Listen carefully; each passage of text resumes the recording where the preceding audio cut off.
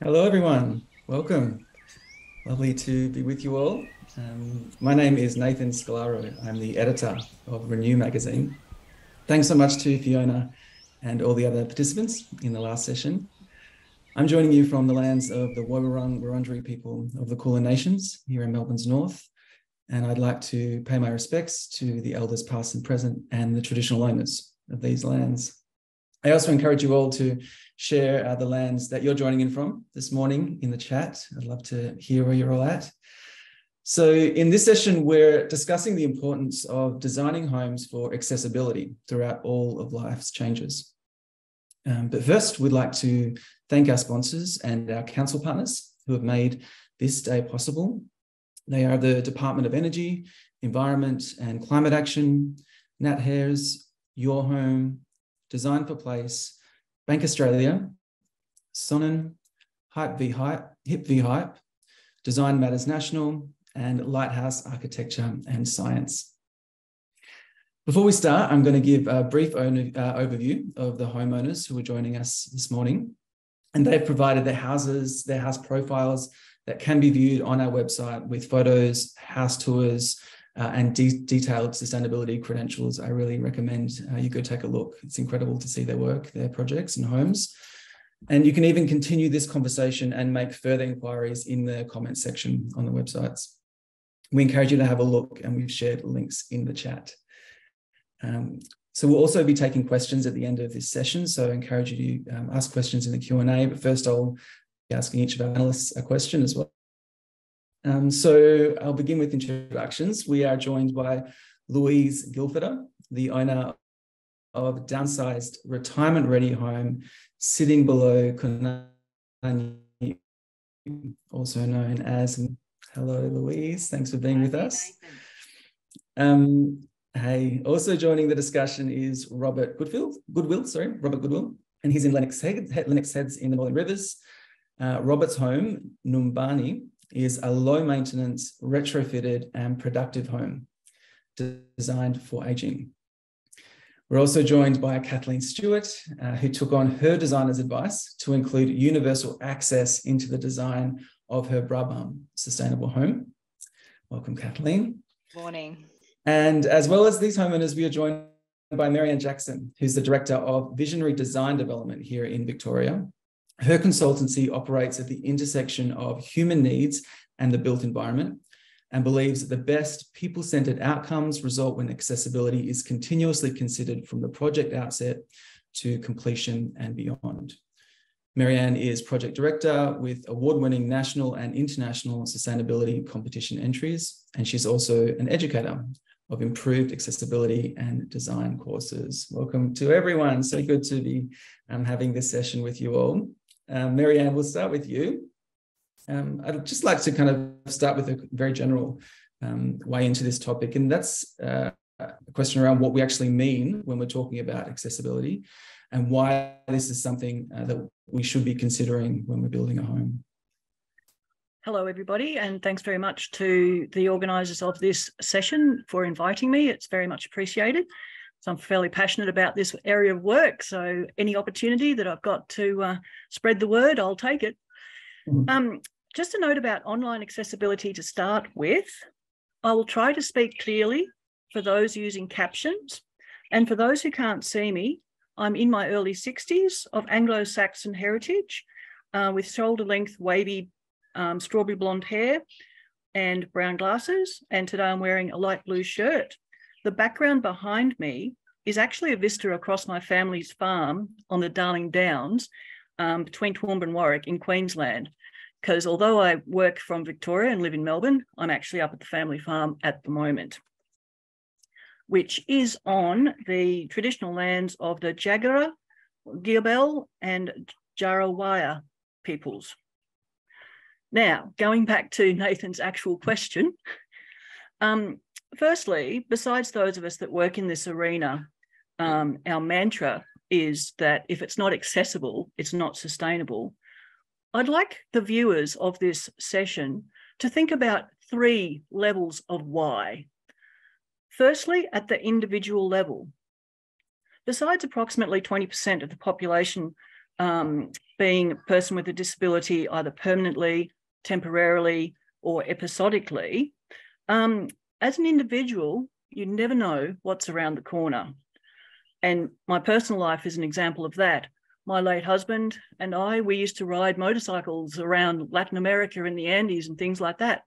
And I'm a widow at 56 because um, various health issues from heart failure meant that he um, succumbed to uh, those problems, those complications. And so I have that personal experience of being a carer for someone that has um, a level of, of impairment. Also, with families, you know, the individual situation of families where children are coming along or older parents need assistance. So if our houses are designed so that that is accommodated, then that's a very good thing. And then thinking about the next level out of extended family and friends so that friends and family can visit. You know, one in three households, um, a person with a disability is in one in three households.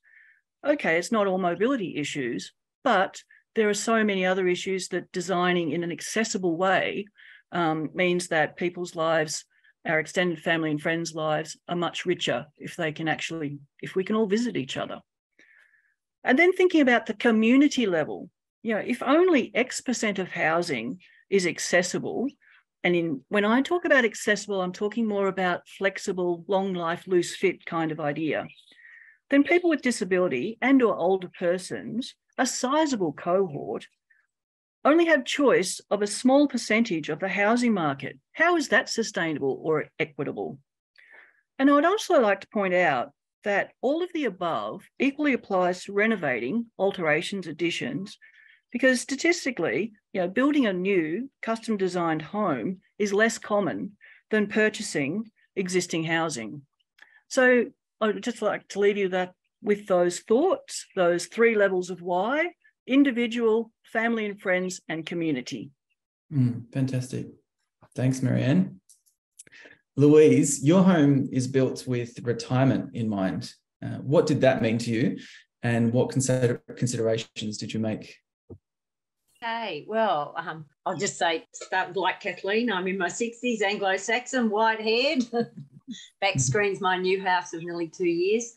And um, retirement's a pretty scary stage of life. And but that's a better focus than aging. That's something we don't want to address. But as Kathleen has said, there's a lot of reasons why accessibility is a very important focus. But I just want to concentrate firstly on one thing that my journey um, has taken me through is the social aspects. So I'll deal with them first, which is all about your mental health and and aging well. Um, so my um, my aim was to downsize, but I realised it was really important to stay in my local community. Um, I saw a lot of people retire, leave their work community, maybe move into state, new town, up the coast, new house. They lost their network, their social connectivity. Some of them spent 10 years trying to work out what they were doing. And I realized that wasn't for me. Neither was um, building a new house. I was not mad keen to build. Um, but it, mm. because I had the option of building, subdividing my current house building, that was the pathway. Um, and I had very supportive, uh, very supportive, helpful neighbours who were sustainable architects. So um, that was also very important to have that guidance. And I'd really stress that to people listening. You really, it's very important to engage a professional, architects, building designers. But yeah, uh, it's really important to get that professional help. Mm. So for me, it was important. Um, I'm an ecologist, so it was important for me to be sustainable um, and to invest in something that had low embodied energy with no concrete, brick, aluminium, etc. That was a lightweight, small house, um, 100 metres squared, so not a tiny house, small and comfortable, easy to move around, not big distances. The other important thing was um, thermal comfort, being warm, quiet, calm, serene so um, passive solar, 8.2 stars, which is not easy in um, the temperate climate zone of Tasmania. and I'm I was aiming for operationally carbon neutral, um, and now I'm actually carbon positive with about seven and a half thousand kilometres of charge from my uh, solar for charging my EV. So that's been rewarding. So that, that's probably enough of some of those things. I, are we mm. going to talk about the accessibility stuff further down, or do you want me to cover it now? Uh, yeah, we'll certainly get into it. Do you want to cover a couple of things now? Okay, yeah, so I'll get while I'm on the roll. yeah, yeah, yeah so one, um, yeah, design um, was very important. It wasn't just for aging, as Kathleen's already talked, but um, I wanted things like one one level, minimal stairs, no mezzanines, um, mm-hmm. small footprints for that moving around the house. I want to future proof um, so that if something happened, I didn't have to spend a lot of money on trying to retrofit, which we're going to talk about. Mm-hmm. Um, so things like a walk-in shower with no hob, um, no tray, uh, a stem on the shower that's already uh, accessible grab rail um, that's strong enough for those sorts of things. And I put noggins everywhere for additional bath and grab rails and things should I need them, ramps, all that sort of thing. Uh, and then things just like kitchen pantry design and fridge with a crisper, things that you to reduce your bending and all that sort of thing. I've mm. also got, um, I'm on a very steep site, but I can drive up to my back door. And if I can't walk anywhere, I can still drive into the house. Um, mm. and the other thing is um, wide doorways, 920, which doesn't cost you very much more than just doing the normal 820. Uh, but having it set up for wheelchairs, um, frame, walking frames, etc. Uh, thinking of all those things now really didn't add to the cost, but I've future proofed. Mm. And I think the other important thing was for me was actually do it all before you're old and you won't get old. That's so great. And what and just quickly, what has your experience of the home been like? Oh, absolutely delightful. But mm. the things that I stress are things like calmness, sereneness, peaceful, mm-hmm. quiet, which I think is things like the double glazing, um, the the thermal mass of the house. But I've never lived in a warm, comfortable house in my whole life, and this is just amazing. Mm. And not only that, I've virtually got no um, power bills. And when they're talking about 25% increase in power in Tasmania potentially in the next couple of months, yeah, I, I spend hardly anything all year and I power an electric car. Mm. Fantastic. Thanks for sharing, Louise. And it's a beautiful home as well. Thank you. Robert, we'll you. Um, you retrofitted your home for aging in place. Uh, tell us a bit about what that entailed for you. Yes, uh, hi. So it's Robert um, from Lennox Head. Uh, this is the subtropical northern rivers of far north New South Wales. Um, and today, at the moment, I'm actually still on Bundjalung country in the Arakwal, where the Arakwal people are. Um, so yeah, I've done a number of um, house uh, renovations and never done a, uh, a full build.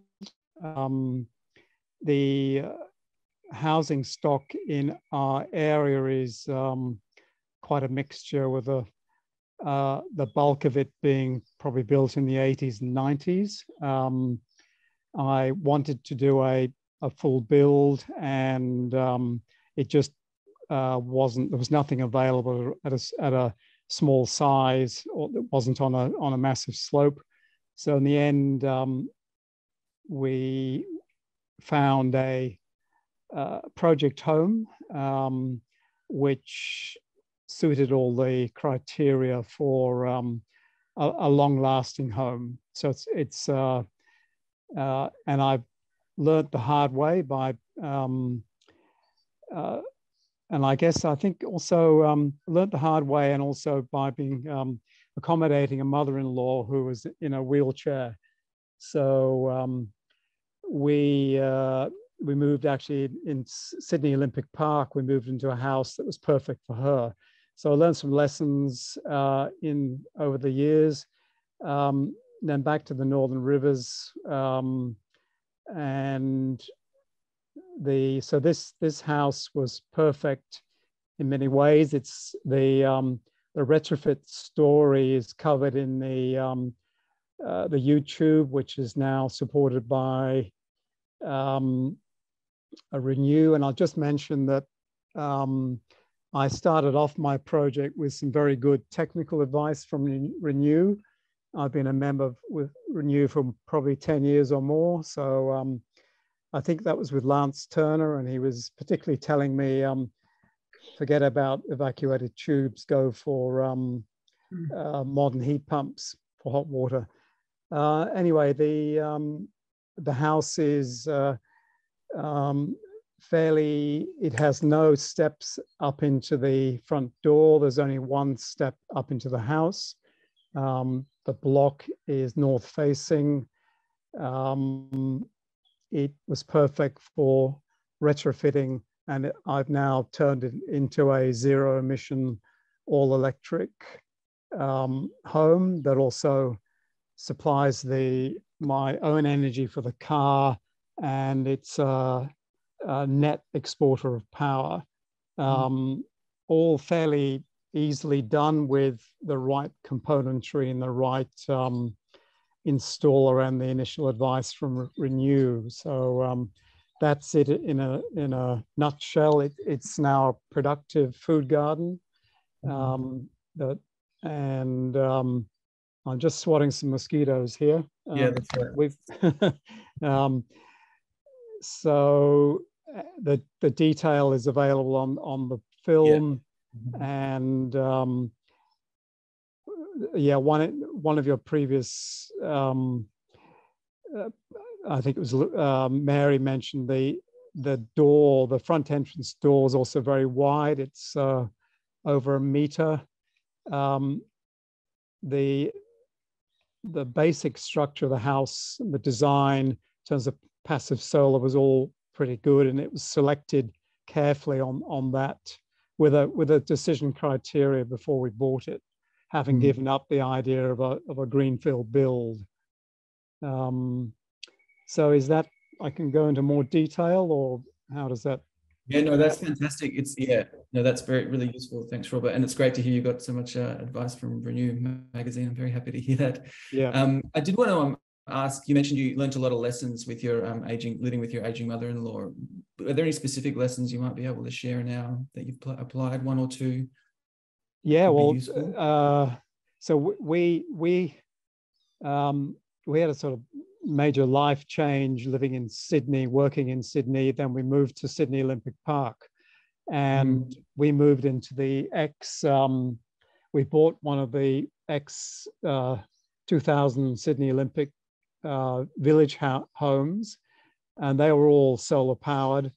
Um, and it was a, that was a you know a green vision. But uh, this um, house was on uh, around four different levels. It was very clever use of of space capture, but it was all going upwards, and it mm. was on multiple levels. It was um, so my mother-in-law moved in, and she literally couldn't access any of the levels apart from uh, the sort of the lounge kitchen area and one room which we turned into her bedroom.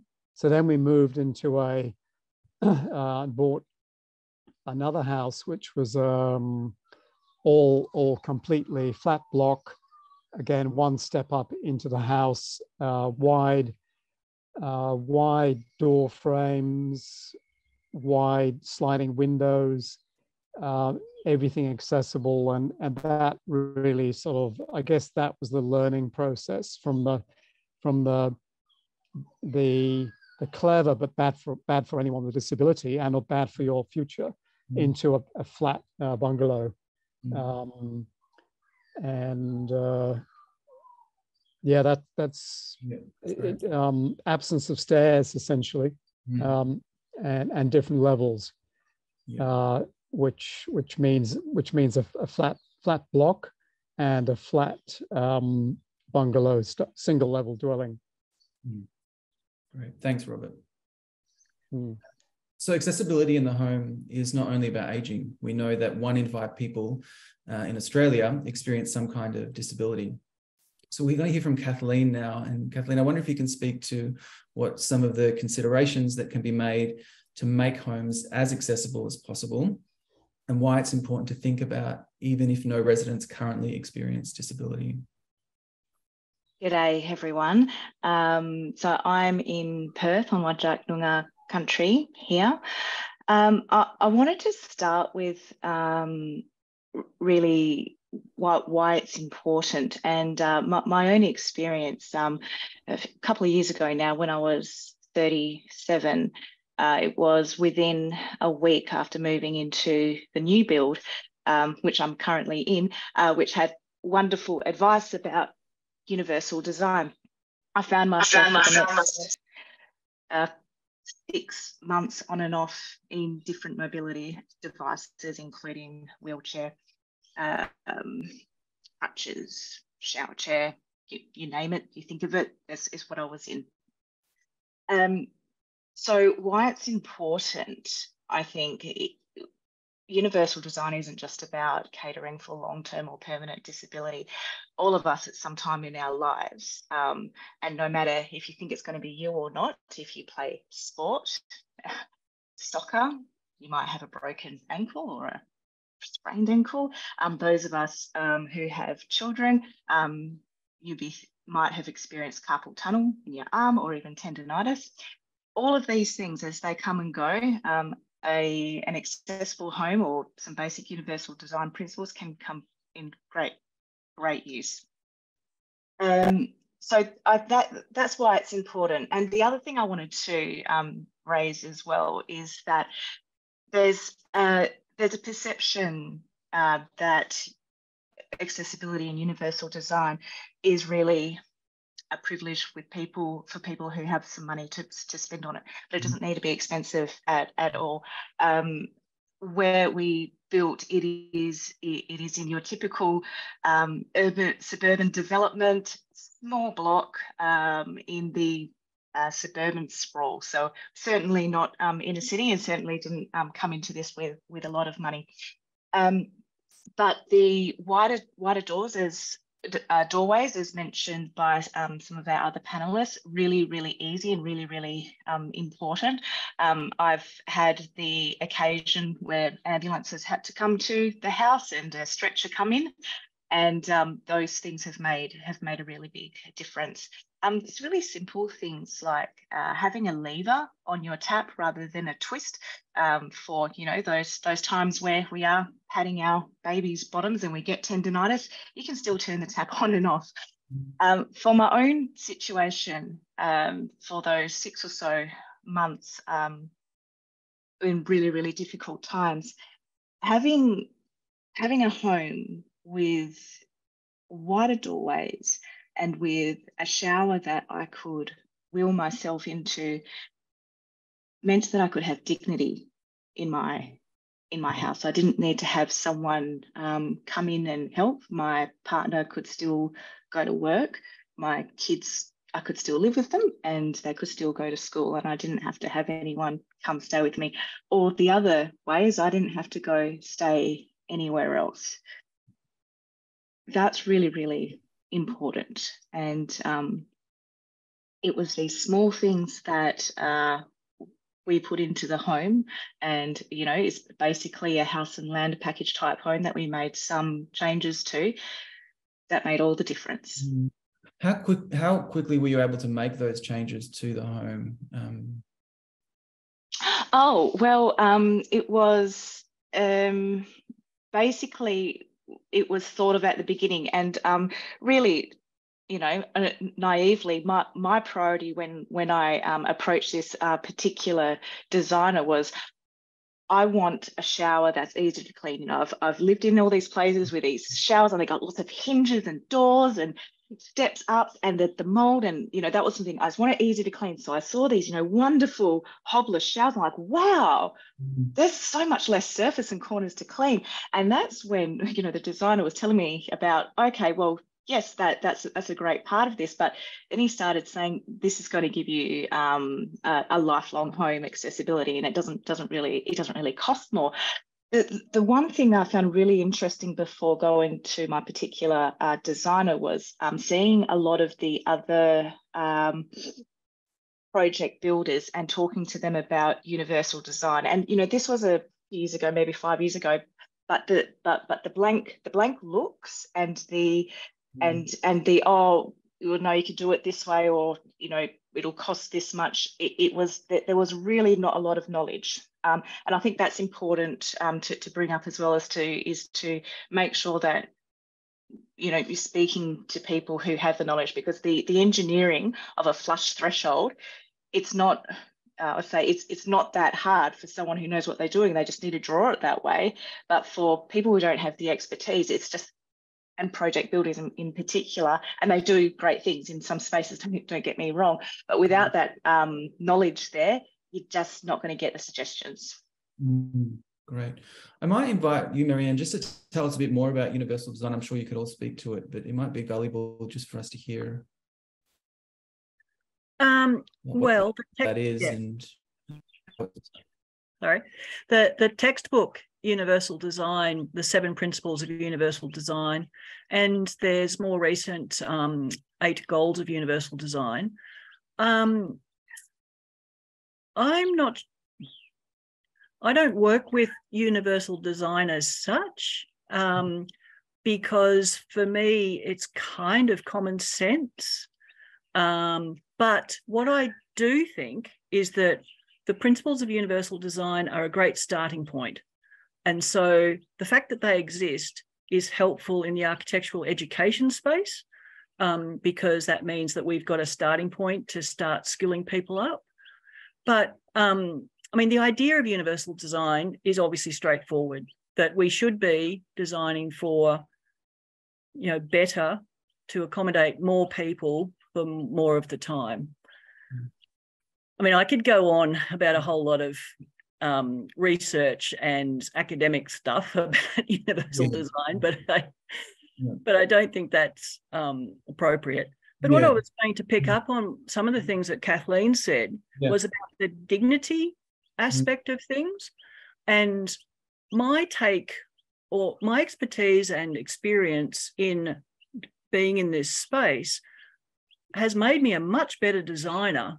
It's made me much more aware of how houses should work and how you can design them to work because thinking about the dignity, dignity aspect, we do a lot of work with the NDIA, the National Disability Insurance Agency.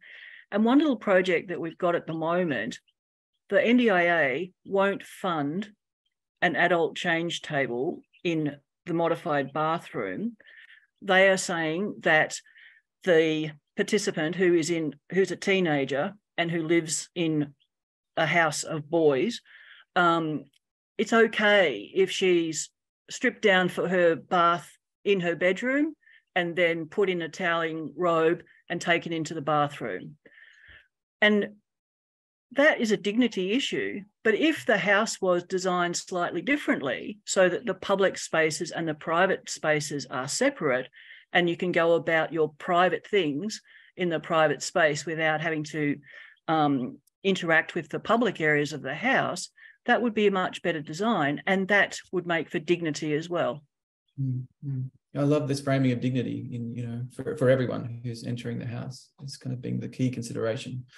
Um, so there are a lot of misconceptions about um, uh, designing for accessibility. And I think you've all illuminated um, what some of uh, what it actually means. But I, I, wonder if we can go a little deeper. So it's not just the kind of ramps and railings. It can be also really quite subtle as having kind of a kitchen, bathroom, bedroom all on the ground floor.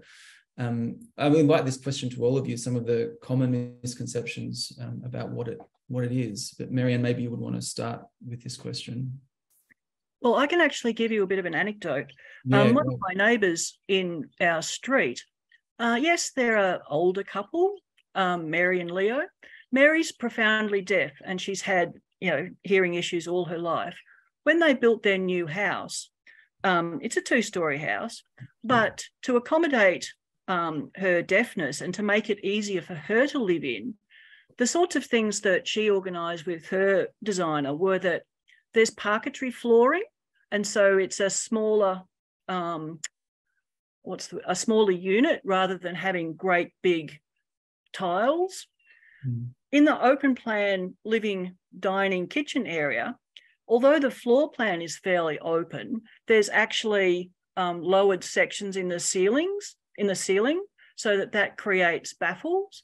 And there's also a nook off to the side of the living, the open plan living area where you can retreat into a more quiet space. Mm. And they've also co-located a lift with the stairs, which, you know, if if they weren't older, they might have just put in cupboards in that space to start with and, and put a lift in later. And so that's not from a mobility, accessibility, ramps, rails, anything like that. That's from a hearing um, mm. issue perspective. So I think that's really important to remember that when we mm. talk about accessibility, it's kind of shorthand and it gets people interested, but it's much, much wider than mm. just the physical ramps and rails issues. Mm-hmm. Thank you. Louise, did you discover anything um, beyond what you've already shared in the process of developing your home, designing your home around what accessibility actually means? Were you surprised uh, the deeper you kind of got into the process? Um, yes and no. Uh, one of my uh, one thing was about being flexible, um, because um, whilst I like uh, Robert didn't want any steps, I wanted to. That was my aim. But We hit bedrock. It was going to cost an awful lot, of, like twenty five percent more cost to um, the whole thing to um, excavate all of that. So one of the things was compromise. So mm. um, I've now got one step up it's a big, wide platform with provision for a ramp. Um, but it was sort of like being flexible as those bounce with the, the challenges and then um, deal with them. And uh, interestingly enough, I, I don't need, I don't have any need at the moment for access ramps, but my old dog does. So we've gone ahead and done that. All right, yeah. He's first. yeah. Um, and the um, Mary Ann touched on it. Um, as well Is the ease of cleaning and things has been wonderful mm. for some of have some of the accessibility things do make it for a much less cluttered, easier to deal with uh, house. Mm. I'd actually also love to hear if there are things now that you're living in the home that you'd like to do to make it more accessible that you're seeing could be done. I wonder, Robert or um, Kathleen, if anything comes to mind on that. Or have you perfected it? Robert? Um, I yes, I, I I think we've done everything that could be done in terms of um, accessibility. Uh, I tell the the one one uh, factor has emerged, which um, and that's more to do with the the kitchen garden and the um, the I, I used uh, crushed um, basalt rock around the perimeter of the house so that it the rain would just flow through the, the rock mm. um, and it, it, it is uh, difficult to push any kind of wheelbarrow over it um, mm. so I probably should have put put, his, put in basalt stepping stones there mm. um, and that that could that'll become more of a problem late later. So when uh, I guess the overriding design principle or retrofit principle is is think think ahead as to your um, your mobility and your it's not just mobility it's things like strength um, in 10 um, I, i'm only 68 or Um, but in 10 years' time, it could be different. And I'm, I'm, the lifespan of this house really is from our late 60s till um, we're um, kwisha kabisa, as we say in Swahili. We're gone. Um, so yeah, small, just that's a small aspect that was hmm. overlooked. Mm. And mm. Uh, another thing was um, the I think amongst the you won't get this advice from your typical um, or your standard project home builder. And uh, you will get it from a, an architect um, and po possibly some um, good good designers. Uh, but yeah, a lot, a, a lot of, um, and you probably will get it from a, you, you might get it from a, uh, we, we, we did have, we've been on permaculture courses, um, but they, even they tend not to, they don't think too much about the, ex, uh, well, the accessibility of the, of the, um, of the garden beds, except that a raised garden bed around a meter and just over a meter in height is ideal because they're not doing a lot of bending. And um, so that there is some some knowledge and awareness, but it's not that deep and not that widely practiced in, in this region. Right. Yeah. I can add to that. Yeah.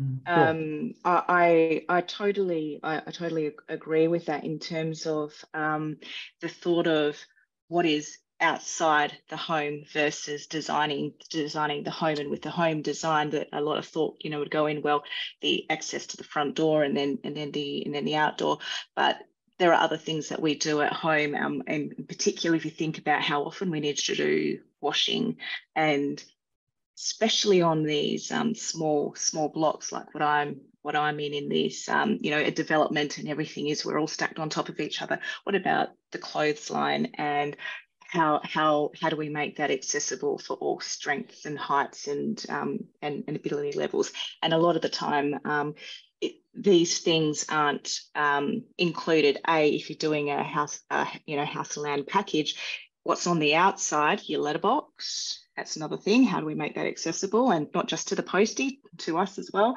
Um, and your clothesline, it's it's not in that. It's left to you as a builder to think about afterwards and go, oh, oh, mm.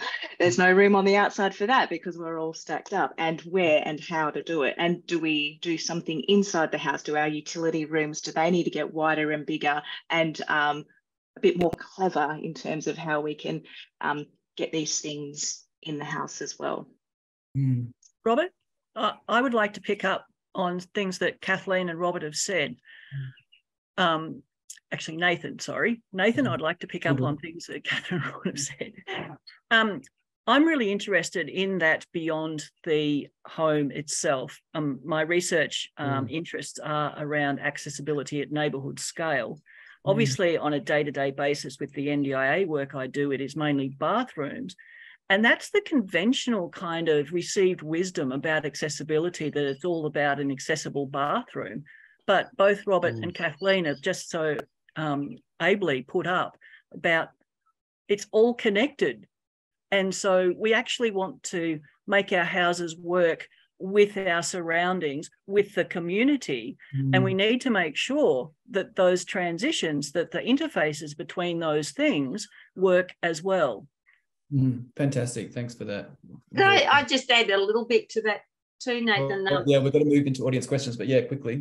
Okay, I was just going to say um, same thing. Should have got a landscape architect because I didn't uh, look at the paving, the mm. outside, the access. Really mm. big learning curve in there, and I'm just dealing with that now. And I really stress that because mm. the architect, everything finishes at the boundary, mm, but it's the yeah. whole package. Can yeah. I just? I'll just what, what Louise said. It, it um, we found it incredibly difficult to get any kind of uh, landscape architectural uh, blended with permaculture uh, advice, even though there's a lot of permaculture practice in the Northern Rivers. It, it just was not available. Interesting. Okay. Mm. There's an invitation there for landscape architects. Renew is a non profit membership organisation. Along with running Sustainable House Day, we also inform government policy, advocate for a fair energy transition, provide resources for climate disaster resilience, and publish two magazines. Sanctuary Magazine provides trusted independent information for people looking to build or innovate sustainably. Renew Magazine is a leading voice on sustainable technology developments shaping the energy transition. These magazines grew from member newsletters in the 1980s and still maintain their grassroots independence and practical approach. Both are incredible resources, and subscribing is a great way to support us to transform Australian homes for climate and energy resilience. Um, all right, so we'll move into some questions now. There's a few here, and um, they're not um, to one in particular. So whoever wants to jump to the question to, to answer the question is great. Uh, from Jenny, what are some of the predominant things I should keep in mind when designing my new build for accessibility? Do I need to consult an architect that specializes in accessible design? Um, hopefully you've heard a few great ideas. I feel like we can make an awesome resource from everything that's coming out of this chat, uh, from this conversation and in the chat as well. So we might look at doing that. But is there anything else anyone wants to add? Predominant things to keep in mind when decide, designing the new build for accessibility. Um, do Does Jenny consult an architect that specializes in accessible design? Well, I think I'll jump in, seeing I'm an architect. of course. But no, um, people that know what they're doing. You need to be working with people that know what they're doing.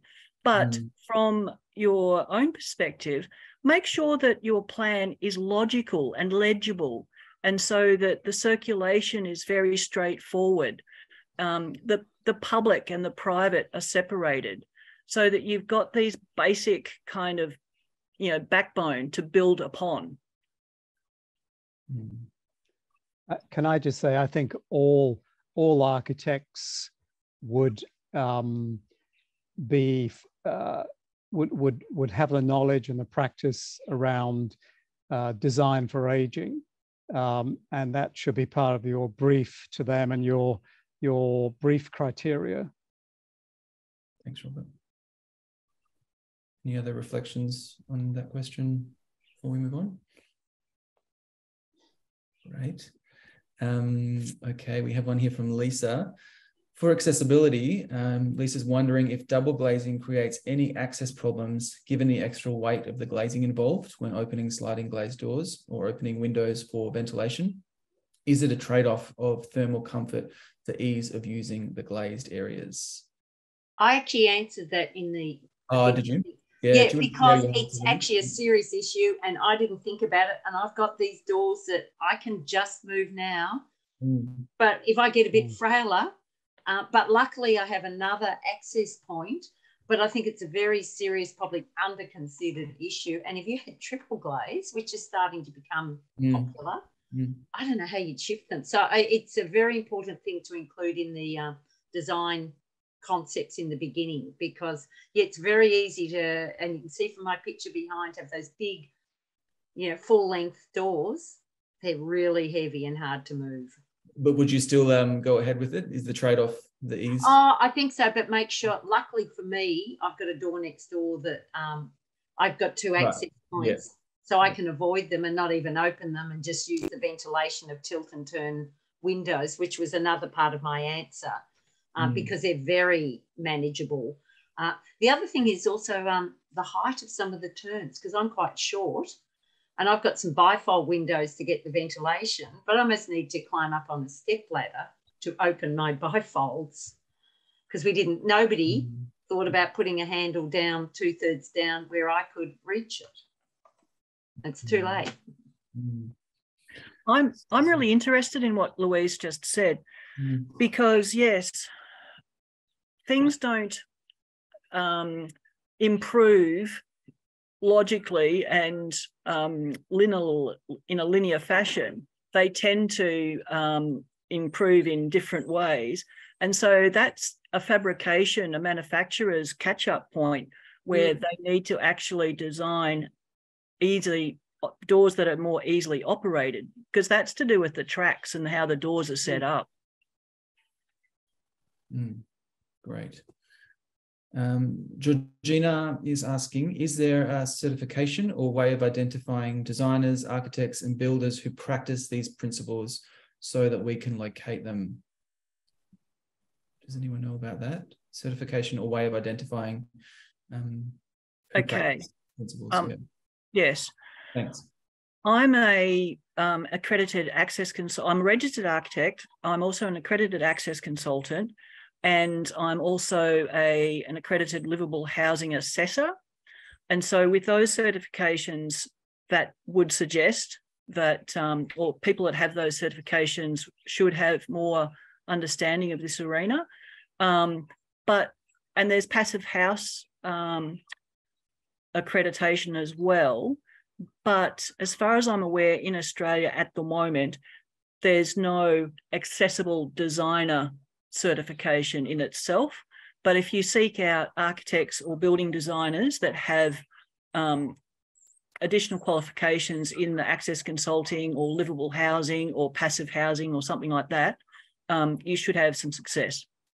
And if I can add to that, um, when you're talking to different organize, organizations and people, um, getting their portfolio or examples of, of what they've done in the past is, is really, I think is a really good thing because um, it, when I was first uh, when I was first looking um, and past project builders, there are some options available, but um, going from the really really high high end to the to the what um, you know I could really afford, figuring that out was was was really was really difficult um, because at, at first look when you first when you first going into it you think oh okay there isn't an option for me but there is, and just just ask for just ask for some examples.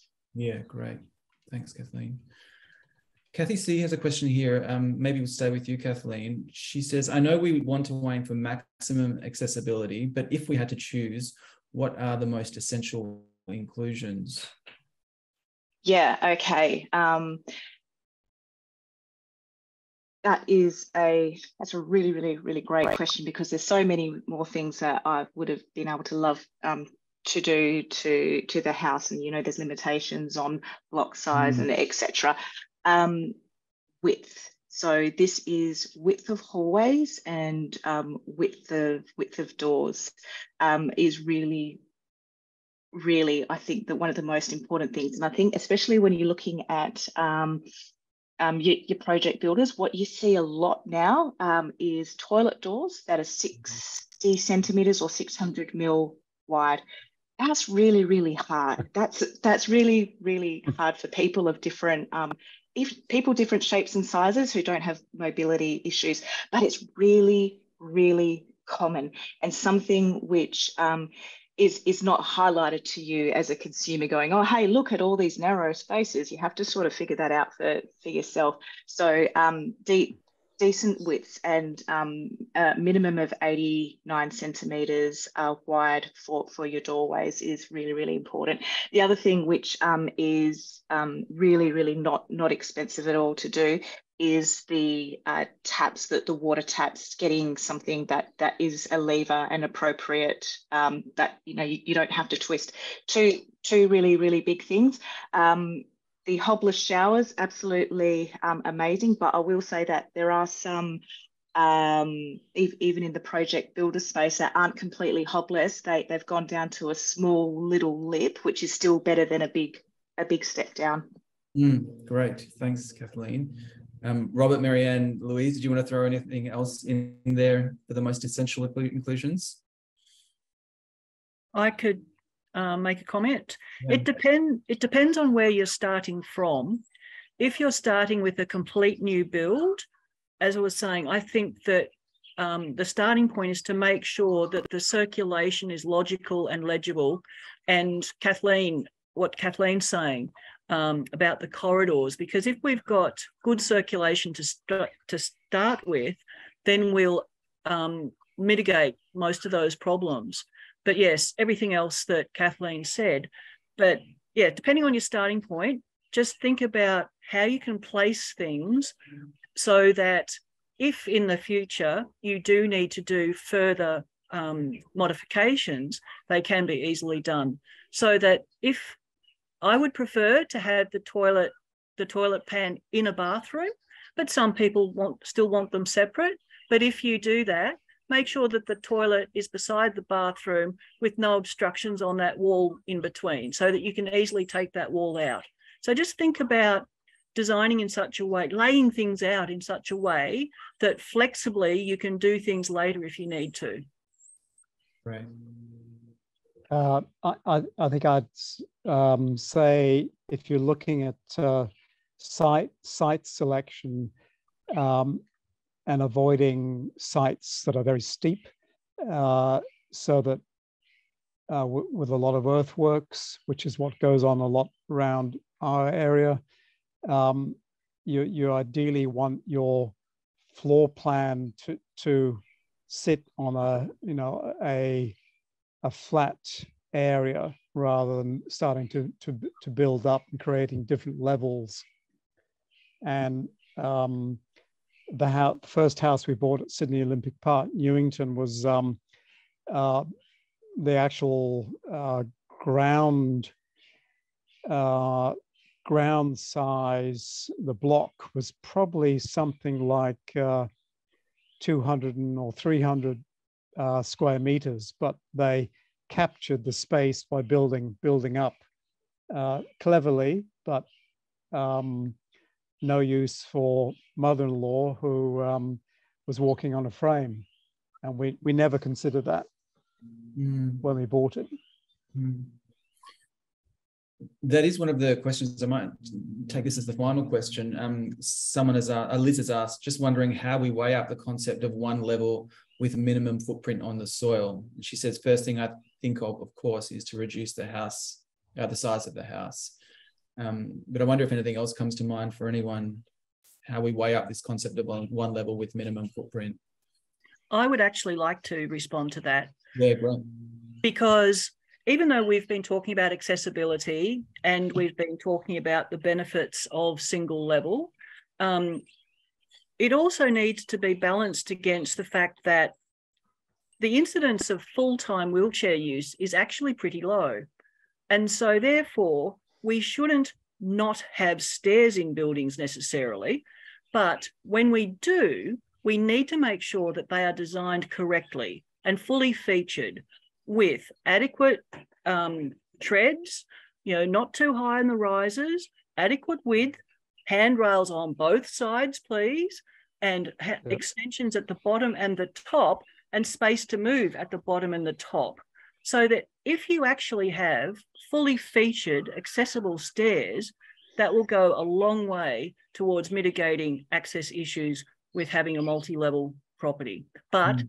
Most designers, most houses are built with just thinking about the stairs themselves. And so we have these ridiculously small treads and really mm. steep rises and no handrails. And bay uh, is what is the problem, not fully featured, properly designed, accessible stairs. Mm, great. An issue which um, my designer uh, brought up when we were looking at my block size, because I, I had these lofty ideas of having this um, wonderful loft to have a view out over the hills.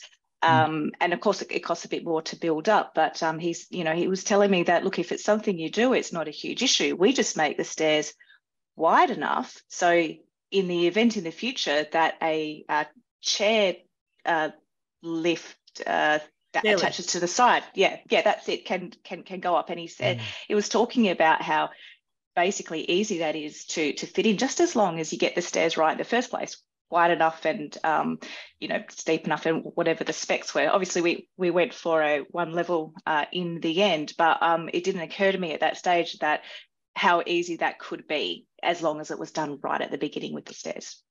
Yeah. Fantastic. Unfortunately, we've run out of time. Thank you um, for all the questions. And thank you, most importantly, to our panelists for their wonderful responses. Like I said, there's such a valuable resource of information there that I hope we're able to capture um, and share more broadly. Um, yeah, special thanks to Robert, Kathleen, Mary Ann, and Louise um, for being part of this and for sharing. Um, stick around, everyone, for the next session, which is all about prefab and modular homes. It's going to be hosted by our Sanctuary editor, Anna Cumming. And don't forget that we're running a month of online extension sessions starting next week, offering a further deep dive into eight key areas of sustainable design. And you can check out the full program via the link in the chat. And finally, we encourage you to make a donation. Um, all of today's events are free, but if everyone who attended donated just $10, it will go a long way in supporting Renew to transform Australia's homes for climate and energy resilience. Um, thank you, everyone. Thanks for joining, and uh, hope you have a great sustainable house day.